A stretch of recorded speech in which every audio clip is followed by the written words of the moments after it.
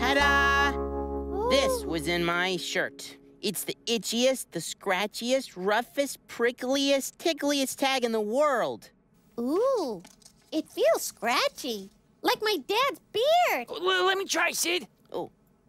Wow.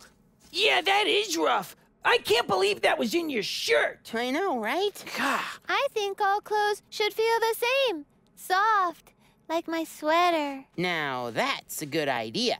Susie, um, why doesn't everything feel the same? Oh, great question, Gabriela. All of these things, Sid's tag, May's sweater, all have a different texture. Texture. Yes. A texture is the way something feels. Everything's made of something different, so everything has a different texture. Oh, oh, like a rock can feel rough.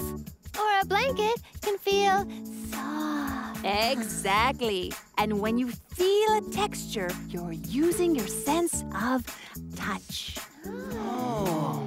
I'm gonna use my sense of touch to feel my shoes. Ooh, they feel smooth. Great observation, May. Thank you. Hey, who wants to investigate the textures all around us? We do!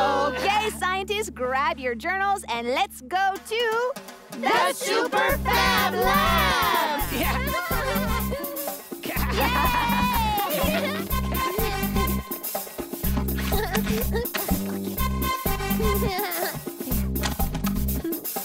Super Fab Lab!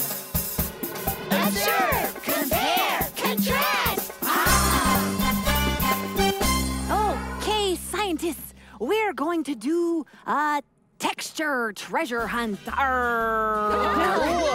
Everyone's gonna explore the room and bring things back to the table. Arr. And you can use words to describe different textures. Arr. And when you bring your textures back, we can compare and contrast them. Arr. But what happens if I can't bring my texture back? What if it's a blackboard or the sink or the floor? You can describe the texture on these sticky notes Oh. and just stick them on. Okay. Um, but oh no, wait a minute, I can't write. Oh, you don't have to write words to describe something. Scientists use pictures and symbols all the time. Now, if you wanted to draw something that's bumpy, how would you do it? Oh, you know, I, I would draw hills because hills are bumpy. Oh, oh, and if something is smooth, you can draw straight lines. No bumps. Great ideas! Watch more on your local PBS station and the PBS Kids video app.